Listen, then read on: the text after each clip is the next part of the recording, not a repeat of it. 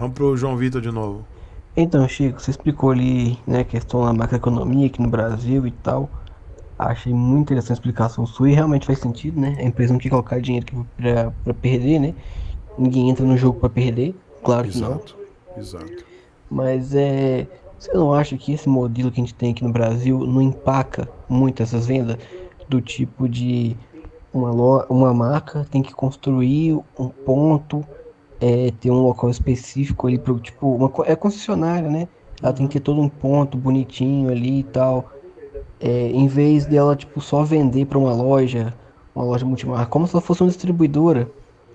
Mas aqui no Brasil tem um modelo de, de concessionária que só pode vender da marca dela, de tal coisa. E tipo, às vezes, é, por exemplo, a Bajaj mesmo, ela é moto, como a gente tá falando, muito boa. Mas, por exemplo, o Honda vende muito porque tem muita Honda. Mas será que se tivesse multimarca do tipo a 160 da Bajaj do lado da 160 da Honda, será que as duas não não estaria, tipo assim, num, num patamar é, não tenho uma palavra, mas tipo assim, não estaria em outro patamar? Tipo, será que a CG estaria vendendo tanto assim se tivesse uma do lado da outra? Isso que eu tô querendo dizer, como se fosse uma Sim. loja multimarca. Eu exemplo, entendo. Eu trabalho na farmácia. Você não vê, tipo, é, a CIMED, que é um laboratório gigante, você não vê loja só dela. Claro que não, você vê, tipo, vários laboratórios numa farmácia. E analogia assim meio errada, né?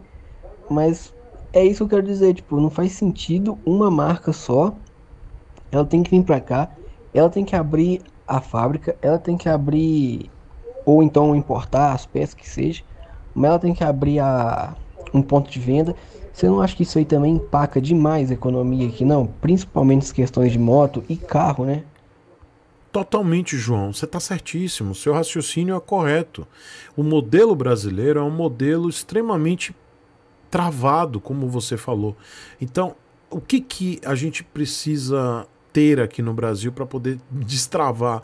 É um modelo disruptivo que não seja nesse molde de rede de concessionários, e sim pontos de venda e pontos de eh, manutenção, ou pontos de eh, manutenção em garantia, que é o que existe lá fora. Lá fora existem redes de concessionários autorizados e pontos de venda autorizados, pontos de manutenção e venda autorizados. Isso existe no mundo inteiro, não somente no Brasil.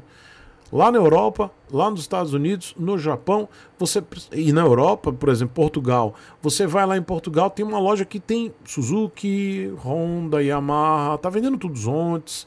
Eles vendem tudo. E lá em algumas dessas lojas que tem é, autorização para fazer a manutenção em garantia dessas motos, ou seja, são pontos autorizados de manutenção e revenda, e venda na realidade, você pode fazer a manutenção em garantia.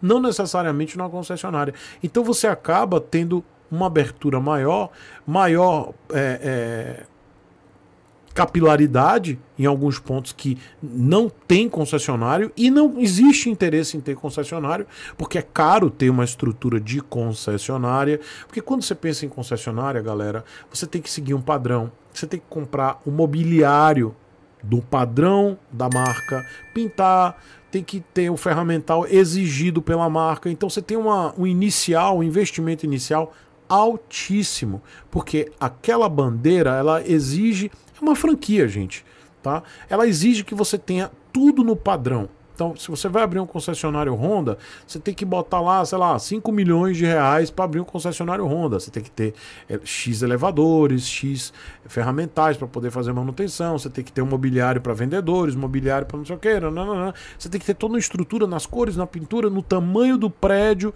para poder comportar essa estrutura. Vocês entendem? Então não é tão simples. Existe uma exigência. Isso é um modelo que o Brasil segue, um modelo antiquado, um modelo travado. E aí o que, que muda em relação a outros países?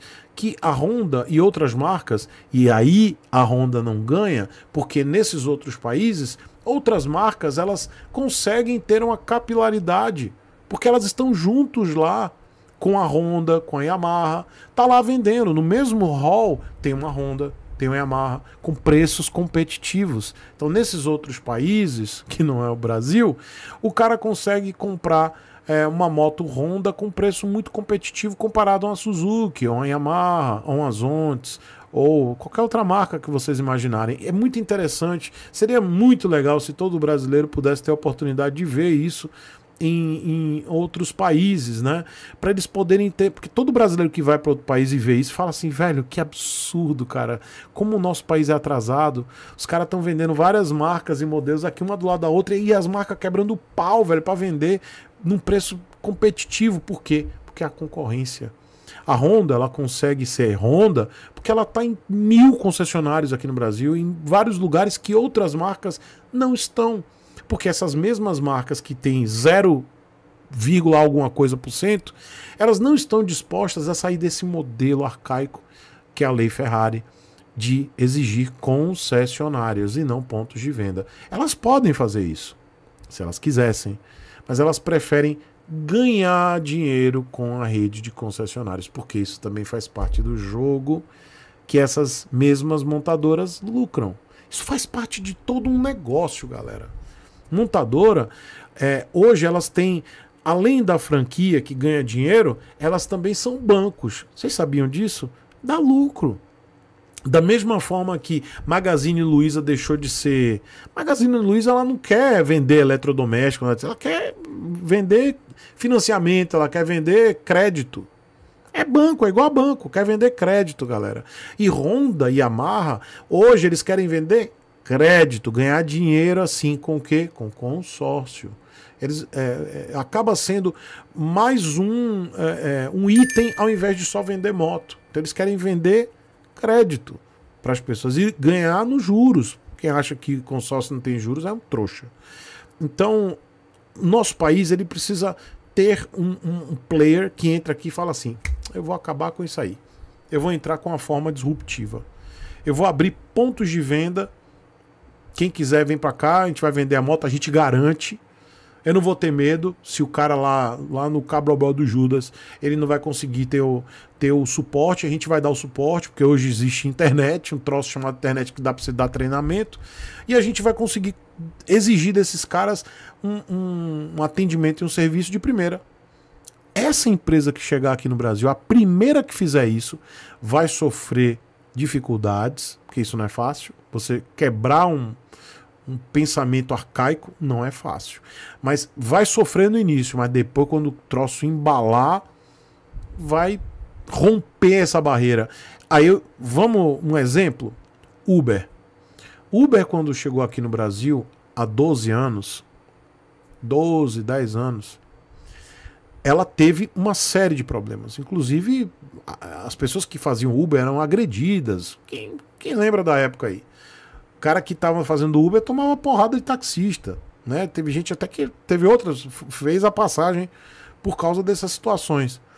E hoje Uber foi, teve essa dificuldade toda, inclusive prefeituras que não permitiam Uber, e a gente pensando, pô, Uber não vai, não vai se segurar, não vai se manter, mas foi, disrupt, foi disruptivo.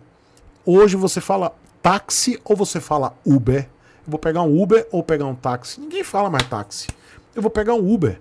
Por quê? Porque o Uber, ele acabou com essa forma de você se, se deslocar nos, nos lugares com táxi.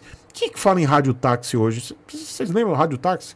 Você ligava para a central, aí passava um rádio para o taxista. Não existe mais. Você vai pegar o aplicativo. Por quê? Porque foi uma forma disruptiva. Quebrou as pernas do próprio status quo de, do cara comprar uma placa. Existia todo um esquema quem é que lembra disso? Quanto é que custava uma placa de táxi? Era um preço quase de uma casa. Só a placa. Às vezes custava um carro, só uma placa, que era o direito, a placa que se chama, é o direito de você ter um táxi. Isso era um negócio, era um mercado à parte. Acabou. Não existe mais isso. Hoje qualquer um pega o aplicativo, baixa o aplicativo, se cadastra, é liberado o cadastro, vai lá e roda. Vai fazer o teu, faz o teu corre. Isso é disruptividade. Isso vai acontecer. Vai chegar um momento que uma empresa vai chegar no Brasil e vai falar assim: pronto, agora todo, todo mecânico, toda oficina mecânica que tem um mínimo de estrutura, que passe no nosso crivo mínimo, vai poder nos representar e vender nossos produtos. No Brasil inteiro. Aí o cara vai lá e fala, pô, eu quero vender essa moto. Eu tenho estrutura assim e tal. Aí ela vai dizer, ó, você vai ter que ter tal ferramental, você vai ter que ter tal estrutura mínima. E não simplesmente com a cor que eles querem, o, o mobiliário que eles querem. Eu não tô nem aí pra isso. Eles querem que você tenha o um mínimo de estrutura para poder vender o produto deles. E ainda atender na ativação dessas motocicletas. Pronto, tá feito, vai lá, recebe a moto, vende. Vai ser difícil no início, mas depois vai dar certo, como Uber. Só que o Brasil ainda é muito atrasado. Mas isso vai acontecer.